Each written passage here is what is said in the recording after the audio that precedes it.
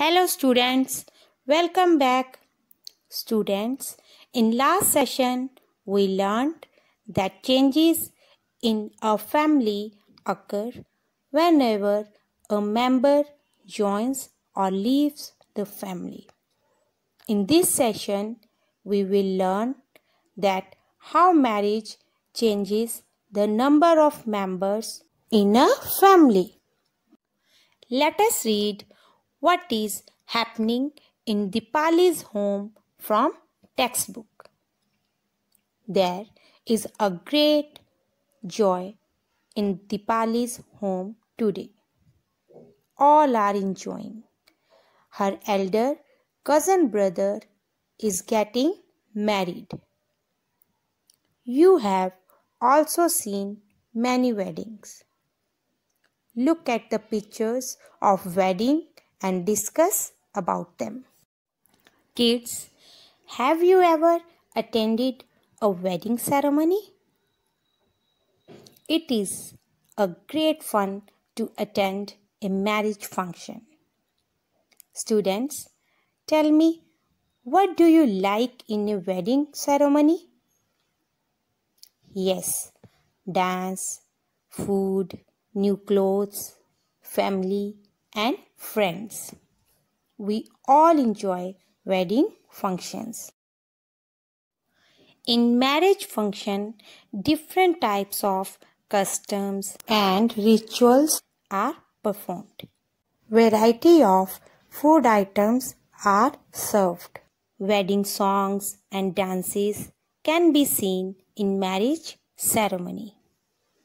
Can you tell me name of any song or dance performed in wedding?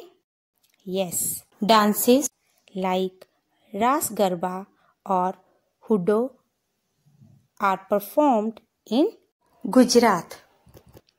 Songs of bride farewell is sung by ladies.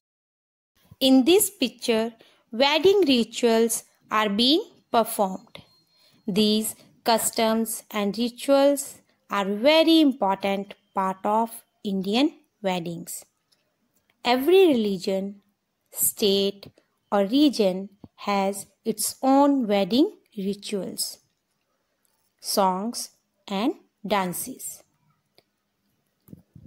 Kids, who leaves her house after marriage? Yes, the bride. After marriage, bride becomes the part of bridegroom's family. Students, bride means the girl who is going to marry and bridegroom is the boy who is going to marry. You can see bride and bridegroom in their traditional wedding clothes. After marriage, the girl leaves her parents' family and joins the family of bridegroom. So, the family structure will be changed. The family members of bridegroom's family will increase. Students, have you ever heard about child marriage? What is child marriage? Government of India has decided age for the marriage. According to the law, the minimum age for the girls to marry is 18 years and for boys it is 21 years. Before that age, if anybody gets married, it is called child marriage. Children, child marriage is against the law. Let us recapitulate what we have learned in this chapter. Children, now we know that a family is a group of two or more people who reside together and who are related by birth, marriage, or adoption. Joint families are families which include members like grandfather, grandmother, aunts, uncles, cousins living together as a single family. Nuclear families include parents and children.